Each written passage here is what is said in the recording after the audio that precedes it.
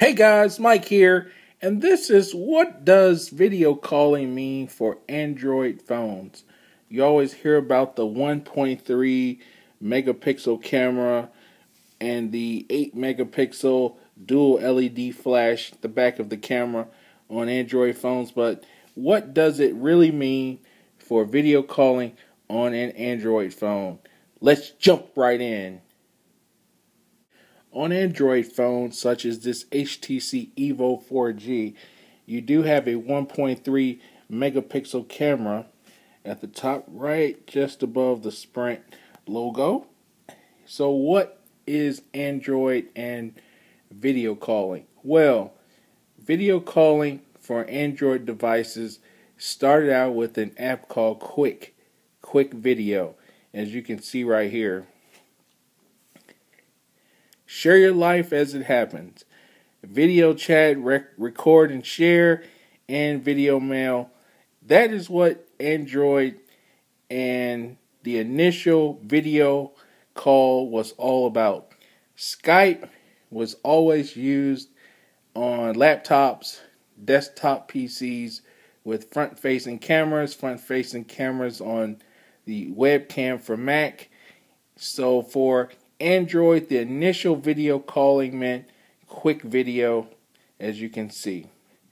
It was not cross platform, meaning you could not call an Apple device with Qik because Qik was only for Android devices for video calling, and you got very good uh, video call quality with the 1.3 megapixel VGA camera awesome.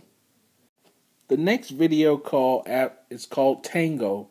Tango was one of the first cross platform uh, apps that allowed video calling between Android and iOS devices.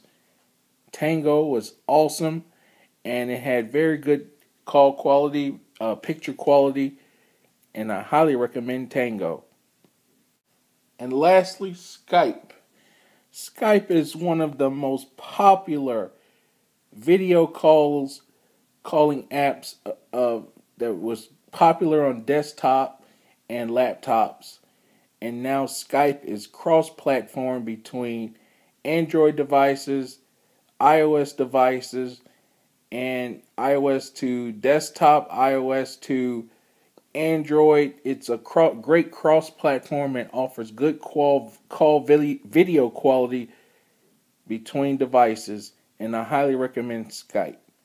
So, as you can see, Qik was the very first Android video calling app that was available. Tango, cross platform, and Skype that was updated to be cross platform between all of the major popular devices. Out of the box, Qik, Tango, Skype, Fring, and, and other apps worked uh, over 3G signal, well, 4G signal, and Wi Fi. I'm sure there are other apps out there that offer video calling, and I highly recommend them. Thanks for watching. See you in the next video.